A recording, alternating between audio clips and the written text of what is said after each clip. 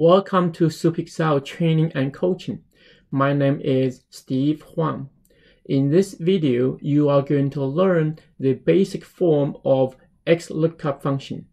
This is the first video in the XLOOKUP Inside Out series. In the series, I will walk you through from the basic form of XLOOKUP to the advanced usage of XLOOKUP function. You can download the training Excel files from the link given in the description below. XLOOKUP is a relatively new function. It became available in the Excel 2021 version and in Microsoft 365 version in the year 2020. It can do anything you do with VLOOKUP or HLOOKUP. It is actually designed to replace the VLOOKUP and HLOOKUP function. It's much more powerful and much less prone to errors. If you are using new version of Excel, then you have no need to use the old VLOOKUP and HLOOKUP anymore. If you find this lesson beneficial, please subscribe to my channel so you can learn more. Now let's look at how the basic form of XLOOKUP function works. If you want to practice along with the downloaded Excel files while watching this video, this file is called SuperExcel1 XLOOKUP first to last vertical. Before I show you how the XLOOKUP works, let me first explain the background of this dataset so you know when and where to use XLOOKUP. Here I have this table with sales records. We have those cost IDs, that bought from us on the different dates for those different type of products for so many cases and dollar amount and we have lots of records all the way down to the row 6570. And given that table, we want to somehow to get the region number of those customer ID and also to get the state name and city name of those customer ID. Those are our customers. Definitely know which region they belong to and which state city they are located. So I have a table on the left side over here to show for all the customer ID we have in this company, we know which region they belong to, which state and city they are located. So this table will have all those customer ID this company has. That means we are able to find a way to return the region, state, and city of those customer ID. They are available in here. And that could be done by using the XLOOKUP function. So now you understand the background. Let me draw on my screen to show you how this XLOOKUP function look like. Now let me create a copy of this sheet. And in the copy, I will get rid of this picture. And I will make my screen a little bit bigger, make it easier for you to see. So in this cell L11, we need to do an XLOOKUP function. And we can start with equal sign. And the function name is x lookup. And uh, all function will have the opening and closing bracket. Inside, you will have few arguments. For x lookup, there are six arguments. And in between every two arguments, you must have a comma to separate different arguments. Now, for this first lesson, we are not going to do all six arguments we are going to do just the basic form of the XLOOKUP. So the fourth, fifth, and sixth arguments, they're optional. You don't have to have that, depending on your purpose and your circumstance. And for now, we are going to omit those three arguments.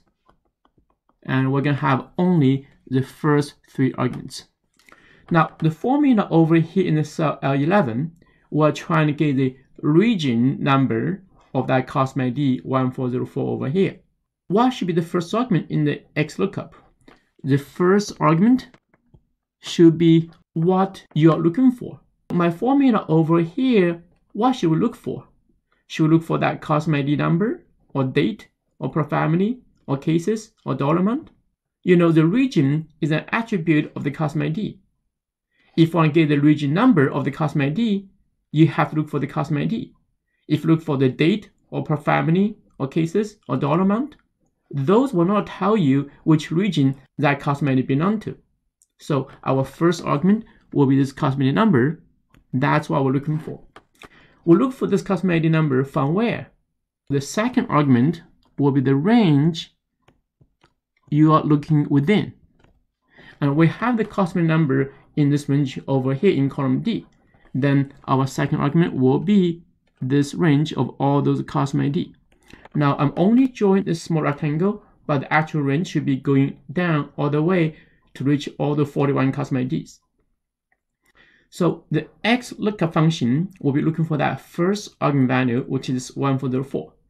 Within the second argument range, which is range over here, going all the way down, and it's going to find that 1404. Here it happened to be in this position, and once find that match, then in the third argument, you have to decide in which range to return the corresponding value. So the third argument will be the range to return the corresponding value. And we are trying to return the region number of those customer ID. So my third argument should be the region number range in the column A over here. Again, I'm only drawing that small rectangle, but that should be going all the way down to include all those customer ID of this company. Now, once this X lookup find that first argument value within second argument range, let's say that happened to be over here, and then it's going to return the cell value in the third argument in the same position. So in the same position, that cell value will be returned. Here, 1404 is in this position, then it's going to return the region number in the same position, but in the third argument range. In concept, in theory, this is how the XLOOKUP works. It's going to look for the first argument value within second argument range. Once find the match over there, then it's going to return in the third argument range the cell value in the same position. For this particular one, it looks for this 1404 in the second argument range to find the match over here, then it returns in the third argument range in the same cell position the value over there, which is region 1. Now for the X lookup to work, there is a condition that have to be met. If the range you're looking within is a column, then the number of rows in second argument range have to be the same as number of rows in the third argument range. If this range has say 1000 rows and that range has 1001 rows, then the formula cannot work. They both have to have the same number of rows. Since we omitted the fourth, the fifth, sixth arguments, actually XLOOKUP is going to assume certain parameters for you. It's going to assume the lookup order will be from first to last. And in this case, will be from top to bottom. And it also going to assume the match type will be exact match. Meaning this XLOOKUP will try to find this exact match of that first argument value in the second argument range. Now it also assume if that exact match not being found in the second argument range, then the XLOOKUP will give you NA as a result, not available. Now one more thing, when XLOOKUP look for that first argument value within the second argument range. In this case, it's looking the order from first to last, so from top to bottom. Once it finds the first match, it stops. It does not go any further. If you have this 1404 appear multiple times in that list over here, only the first match will be returned. So that's the behavior for any lookup function. Once it finds the first match, it stops. That's the concept, the structure of this XLOOKUP. Now I'm going to demonstrate how we can do this formula in Excel. Let me go back to the first sheet and let me make the screen a little bit bigger. Let's do this XLOOKUP. So in the cell L11, let's type equal sign because all formula or function start with equal sign. And then we're type X once you start with x, you can see in this autocomplete list over here, we'll have few functions starting with x to appear in that list. And we don't have to go down to find that x lookup we can just type XL because only x lookup starting with XL. Once you have x lookup appear in this autocomplete list over here, you don't have to type the whole thing yourself anymore. You can insert this function from this autocomplete list. And you will insert that not by pressing enter, because enter means you are done with this formula. We're not done yet, we're just starting. To insert that function, you have to press the tab key. So let's press tab. That will insert the function for us. And it also insert that open bracket for us too. Now we'll be working on the first argument. What are we looking for? We're looking for that customer ID here. Then I can use my left arrow key. So left arrow key to go to that cell G11. And that's our first argument. And you know, between any two arguments, you must have a comma. So now, in order to finalize the first argument, I'm going to press a comma. So the first argument is done. Now we'll move on to the second argument. And the second argument is the range you're looking within. We're looking for this customer ID within that range over here. Let's use left arrow key to go to the cell D11. And from here, we want to select all the customer ID going down. The keyboard shortcut for that is hold down Control and Shift, then press arrow down.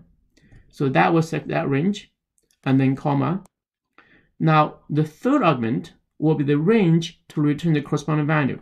Now, you may not see my formula over here, but you can see that from the formula bar. Now we're working on the third argument. The third argument is a range to return the corresponding value, which will be the column A over here with all those region number. Now I need to go further to the left.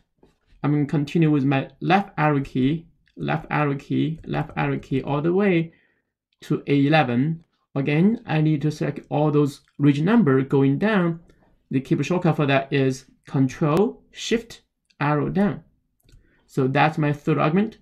And we're not going to do the fourth, fifth, sixth argument for this lesson.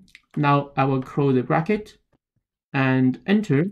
Now this formula gave me the result, which is region 1. If I double click inside, you will see that's what we have done.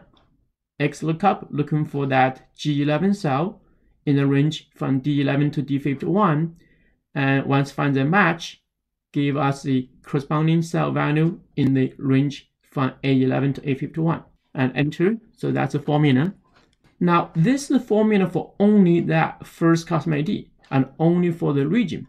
We need to do similar formula for the other customer ID down below and for the state and city too so now we have to think about the reference. I have to assume you already have the knowledge about the relative reference, absolute reference, mixed reference. Now in my training, I spent one hour to teach about reference. So here we can focus on the XLOOKUP. I assume you have understanding of the reference. So I will just explain briefly what kind of reference we're going to have in order for this one formula to work for the other customer ID for all three fields. So when copy the formula down, I wish this customer ID number, this cell G11, to go down so on the row to be open. But when copy across, I still want to look for the customer ID, then I will lock the column. So for the G11, I'm going to press F4 one time, two time, three time. Now I'm locking the G, but 11 is open.